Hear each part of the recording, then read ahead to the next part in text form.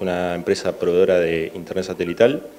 Eh, estamos trabajando en este rubro hace más de cinco años en lo que es provincia de Buenos Aires y ahora tenemos una oportunidad de, lanzar eh, un servicio de similares características en todo lo que sería la zona de Mendoza, parte de San Luis, parte de, La Pampa. Megasat trabaja con, una novedosa eh, tecnología dentro de lo que es Internet satelital que tiene varias prestaciones distintas al, Internet satelital clásico.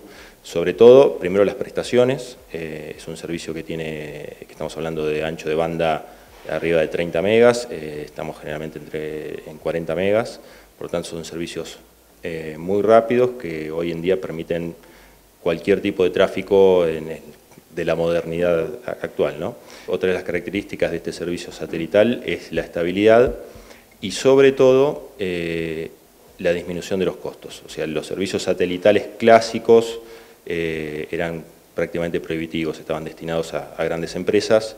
este servicio está pensado para pequeños usuarios digamos, zonas eh, agrícolas, eh, empleados rurales, eh, está, tiene una estructura de costos muy, muy adecuada para, para, ese tipo de clientes. Este satélite digamos, va a empezar a dar cobertura en la zona para poder solucionar temas de conectividad, principalmente en zona rural. ¿no? La verdad que es algo bastante interesante como para desarrollar en zonas donde no hay conectividad, porque esto es un haz de mucha cobertura que te permite en varios puntos poder dar el servicio, ¿no? o sea, facilitar la comunicación. Los requisitos es contactarse con la empresa Ganadería Inteligente, acá en Patricias Mendocina 186, el edificio Malbec.